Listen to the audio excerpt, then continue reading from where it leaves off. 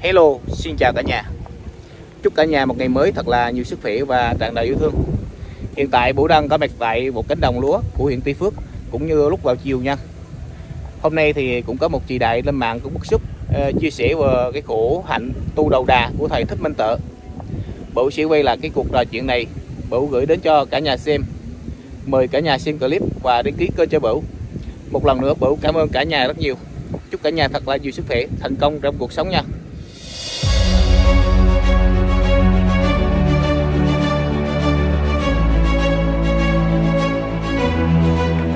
Lực rất là lớn, cái sự uy nghiêm là ngài nắm trong cái hạnh. Cái hạnh của ngài nó rất là sạch sẽ, cũng giống như kim. Cái hương thơm của ngài là cái gì? Cái hương thơm của ngài là cái hương thơm lan tỏa khắp bốn bảy năm châu. Thơm là cái danh, chân, cái thiện, cái sự mỹ miều đó, nó lan tỏa cả thế giới là cái hương thơm, đang bản phất và vắng bay.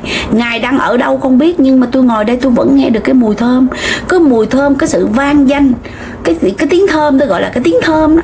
Chứ không phải là cái mùi thơm của hoa bướm nó nó đậu nha quý vị. Cảm ơn bà con cô bác đã gõ vào màn hình cho em. Cảm ơn quý vị rất là nhiều. Cho nên cái tình thương của ngài nó lớn quý vị ạ. À. lớn cực kỳ là lớn.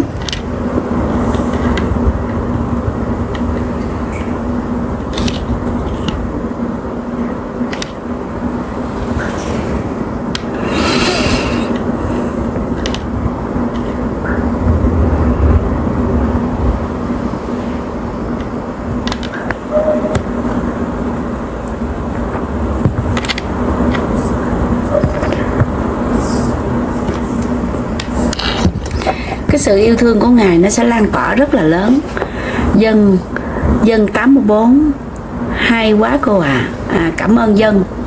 84 là quê hả? Quê ở à, ở đâu à? nói chính xác. Ừ. cái hương thơm lừng của ngài đã bay khắp cả muôn phương để làm cho con người của chúng ta cảm thấy thức tỉnh trong cái mùi thơm đó. Thức tỉnh chứ. Châm cứu bóng nguyệt từ thiện ở gần nhà có chị cho vai, đâm thuê chém mướn, giờ nhìn thấy, đó, nó đã có. Tại vì cái sự hương thơm đó, cái sự lan tỏa làm cho con người ta ngây ngất vào vấn đề chánh pháp. Trời đất ơi, đừng có nói tôi nói thiệt đó nha. Một câu chân thật luôn đó nha. Nói về vấn đề mà tất cả các anh lớn thôi, các anh lớn thôi cũng phải bái phục, cũng phải tự động như vậy đó quý vị. Cũng phải là luôn luôn con người người ta cũng cũng cảm thấy là một cái điều mà họ làm như vậy. Họ quý vị thấy không? Bây giờ họ họ cho ngài đi tu tập, tại giờ họ thấy cái đó là cái chân lý. Cho nên cái tình yêu của ngài nó lớn giống như là ngài là, tôi có một tình yêu rất mặn nồng. Yêu đời, yêu lẫn cả non sông. Tình yêu chứa trang trong hoàng vũ không thể yêu riêng khách má hồng.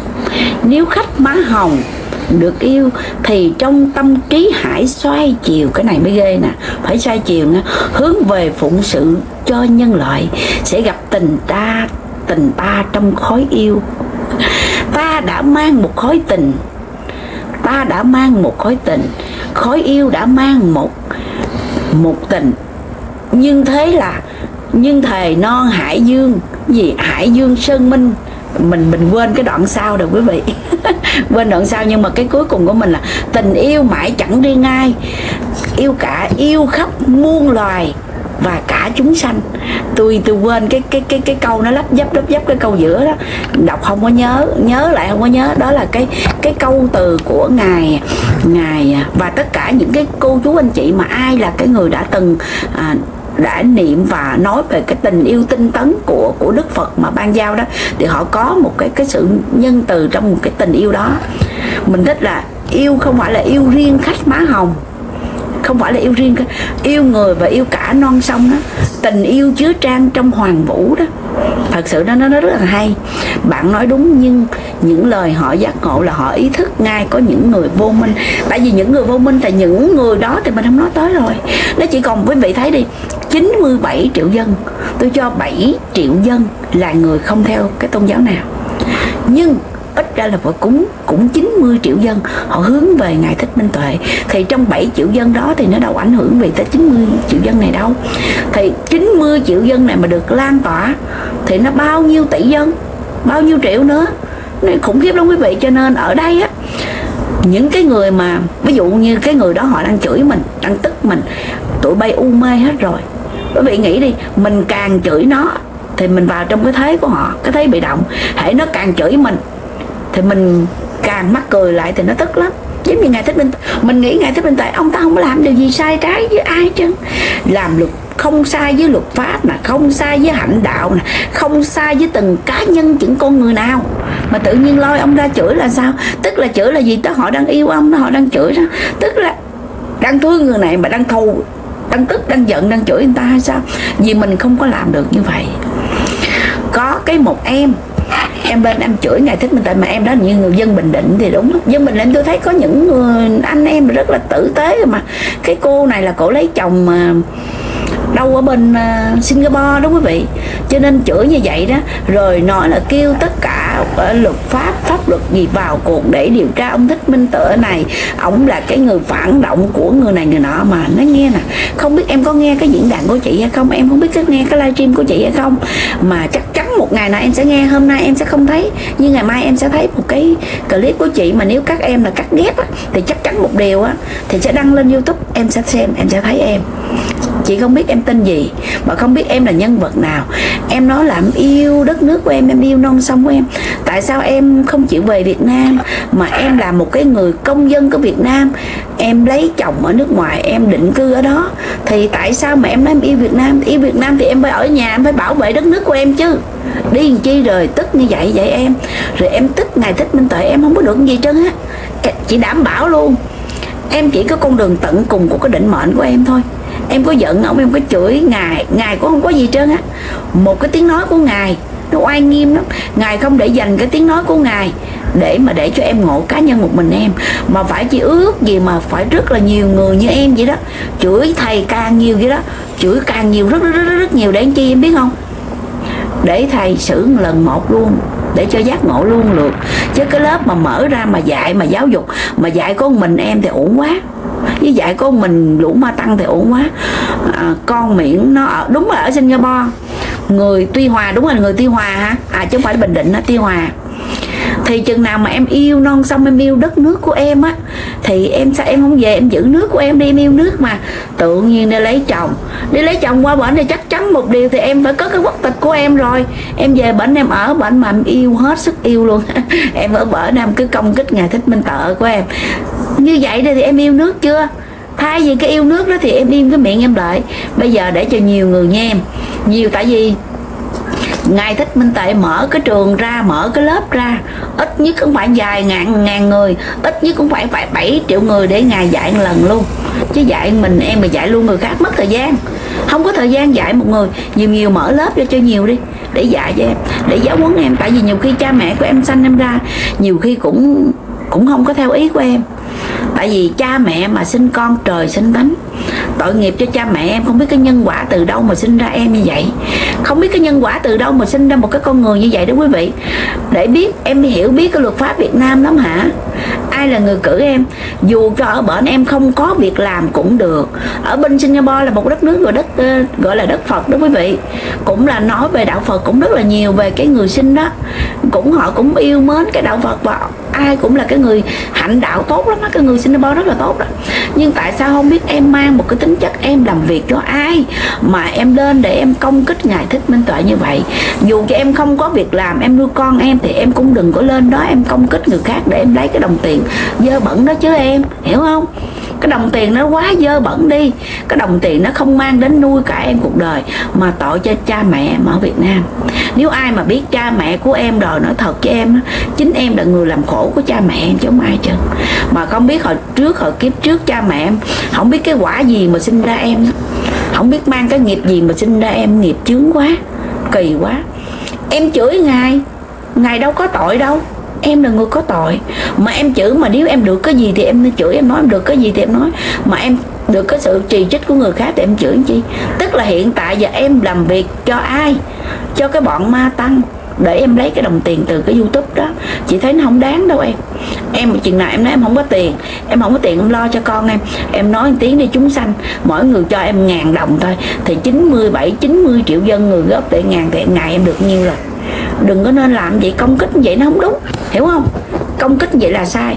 Chừng nào chị cho em nói, nhưng mà nói trên cái sự thật, em nói trên cái sai. Còn người ta đúng đừng có nên nói vậy. Tội nghiệp. Tội nghiệp phải tội nghiệp ngay thích linh tệ. Tội nghiệp cho em. Thấy thương quá à. không chịu buông. Con người em vẫn còn có sự duy trì trong sự cố chấp thì cả cuộc đời em vẫn là con người của em. Chỉ là đi theo trong cái bọn giáo chủ của của ma tăng đó thôi.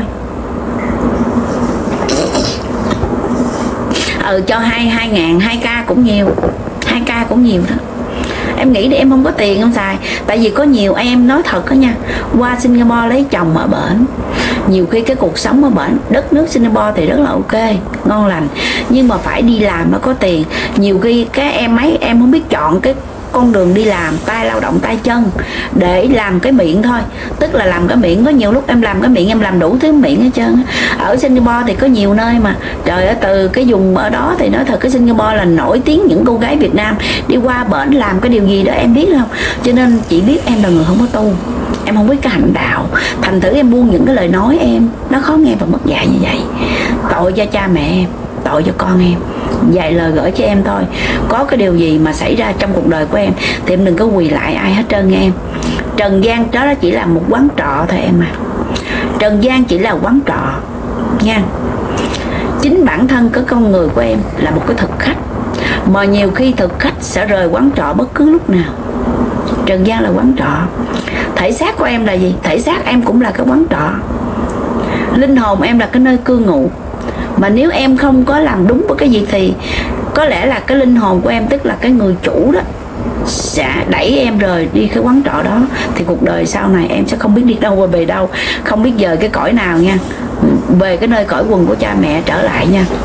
Cái miệng giống cái cái mẹ, cái miệng giống cái miệng của em là tên là miễn miễn chai là gì? Miễn chai hả? Khách trọ mà không biết suy nghĩ. Tại vì cái người khách trọ mà không biết cái dùng cái nơi quán trọ mình tất cả mọi con người chúng ta cũng vậy. Mình phụ thuộc mình chấp mình chấp vào cái ngôn của mình mình chấp vào cái thể cái thân của mình mình chấp vào cái xác của mình thì tất cả mọi thứ mình đang còn tham còn động. À, em chào à, bạn hiền của em. Chúc bạn hiền em có một ngày mới thật là vui vẻ bạn là hạnh phúc. Cảm ơn bạn hiền nha. Sống không cần gì hết con người mình cần gì trong cái thời đại này nè. Cái điều cần lớn nhất của mình là cần nhất là đạo hạnh, hạt giống. Tôi không làm theo tu như ngài thích minh tuệ được. Tôi không tu tôi tuyên bố một câu danh dự quý vị và tất cả cô chú anh chị đang ngồi đây quý vị. Nhưng cái điều thứ nhất là tôi được hưởng cái hạnh của ngài. Để tự tôi luyện tập chính bản thân tôi mỗi ngày. Rèn luyện. Tại vì mình thấy cái sự kiên trì của ngài, rèn luyện quá tuyệt vời, thì cái ít nhất của mình rèn luyện lại cách bỏ bớt cái sân si tôi là nói thật với quý vị nha. Ngày xưa ngày xưa con mẹ bán dưa đó, tôi sân si lắm. Tại vì sao? Sân si dữ dằn để bảo vệ con cái của mình, bảo vệ gia đình của mình, bảo vệ nồi cơm của mình. Bây giờ già rồi, lớn tuổi rồi quý vị. Con nó lớn hết rồi, nó đủ có nơi nương tựa, nó đủ có cuộc sống. Và nó trên 18 tuổi rồi, nó biết quyết định cái cuộc sống, nó biết quyết định cuộc đời của nó. Thì mình lớn mình làm gì? Cũng không có cần thiết phải làm gì. Nói thật chứ quý vị tiền có cũng được mà không có cũng được. Có cũng như không không cũng như có. Tại vì tất cả mọi thứ mà mình cầm càng nhiều tiền thì mình rất là mệt. Nó mệt là mệt cái gì quý vị không? Mệt cái tâm trí. Cảm ơn bạn hiền của tôi nha. À, chị mấy bữa nay à, có con mẹ đeo mắt kính cũng già rồi không biết tu bao nhiêu mà nói liếu láo. Cái đó là cái đó là họ không có tu. Đã là tu là không nên chắc ai bất cứ điều gì hết. Ví dụ mà nói ví dụ đi, ngài thích minh tệ ông tu xạo cũng được. Thật sự là mình có tu, mình cũng không nói người ta, đúng không? Và có rất nhiều người, nếu mà họ tu còn mình không tu khác nha, mình không tu khác à. Thấy cái ông đó không tu mà cái người tu thật là mình đối chiếu, so sánh để mình nói cho nó chính xác. Còn con miễn bị xe cán hả chị? Con miễn là con gì? Mình không biết tên đó nha, không biết tên gì nha quý vị. Bây giờ quý vị có ghét họ thì cũng giống như ngài thế minh tuệ đi, cầu xin cho họ được hạnh phúc. Đừng có nguyền rủa người khác. Chính là mình là cái người, ủa mình đi theo cái hạnh của ngài mà. Tại sao mình lại vậy? Tức là họ đang đang nguyền rủa ngài thích minh tuệ. Họ nguyền rủa, thì bây giờ mình không phải lấy cái đũa của họ, mình rủa ngược lại họ, mà mình cầu cho họ có được hạnh phúc cầu cho họ có được. Mọi thứ đừng có quả báo đến với họ ngay. Đến chậm chút đi. Nha. Chị nói chính xác. Nói hay quá thôi, nhân ơi, cảm ơn bạn. Cảm ơn.